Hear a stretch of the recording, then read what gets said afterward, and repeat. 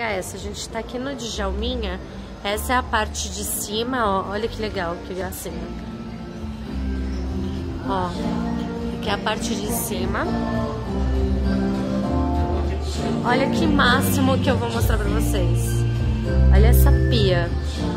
Que incrível. Ó, olha que legal. Todos os artistas com óculos